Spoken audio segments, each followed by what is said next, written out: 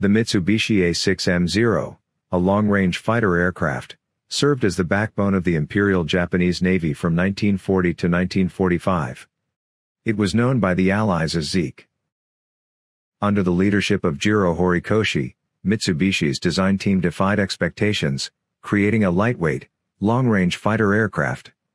The name Zero comes from Type Zero carrier fighter, indicating the last digit of the imperial year when it was introduced, 2600. The A6M was a marvel of design. It featured a low monoplane wing, an enclosed cockpit, and retractable landing gear. However, its structural design was just the beginning. The Zero was renowned for its performance, it was fast, agile, and boasted an impressive operational range.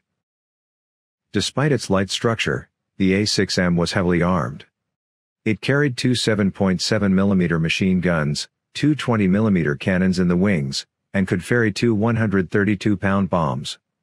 The Zero wasn't just a fighter, it was a multi-role aircraft capable of bomber escort and light strike missions. The A6M2, introduced in 1940, was the first production model of the Zero, boasting a maximum speed of 331 miles per hour and an extraordinary range of 1,930 miles. It was this version that most of the Allied forces first encountered at the beginning of the Pacific War. The A6M3, introduced in 1941, saw various modifications for better performance and versatility. The most noticeable change was the clipped wingtips for better roll rate and maneuverability. The A6M3A, a subtype, carried upgraded 20mm cannons, and saw the return of the folding wingtips for improved range. By 1943, the A6M5 model appeared. This model improved the plane's speed and climb rate, but due to thicker wing skinning, the folding wingtips were removed. It was the most produced version of the Zero. The A6M6 introduced self-sealing fuel tanks, and some variants had a water methanol injection system for increased horsepower.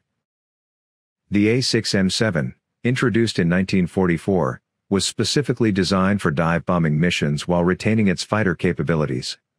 It marked the Zero's evolution into a more flexible combat aircraft.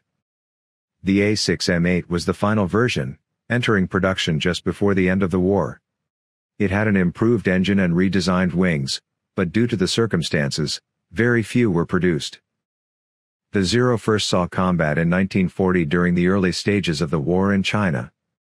With its impressive range and agility, it consistently outperformed most opposing aircraft, establishing air superiority for Japan.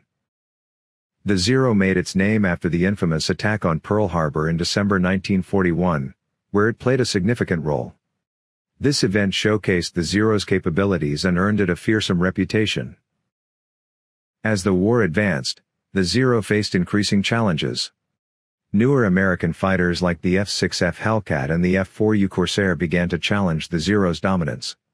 These aircraft could match or exceed the Zero's performance, and their pilots were trained to exploit the Zero's weaknesses, such as its lack of armor and self-sealing fuel tanks.